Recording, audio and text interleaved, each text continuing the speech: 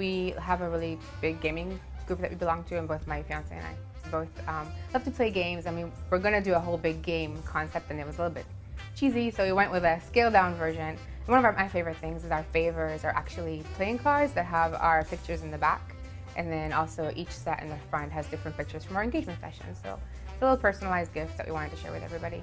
We also have, um, for our wedding um, guests to sign, instead of having a guest book, we have little, Jen well actually they're not little, they're big Jenga blocks, like the human-sized Jenga blocks. We have little markers and we can kind of sign their little wish or blessing or whatever they want to put, tips for wedding bliss on the back of the blocks, and then we'll have them for future whenever we play.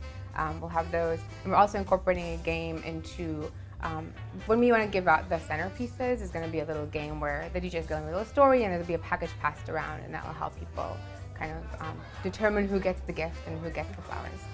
As we were starting looking at ideas, the more concepts we looked at and it kind of just became overwhelming. It was like a circus and we didn't want to have a circus wedding. I really wanted a classic wedding. So it was just finding those places where we can kind of insert those game themes and game ideas without kind of making it take over the whole wedding.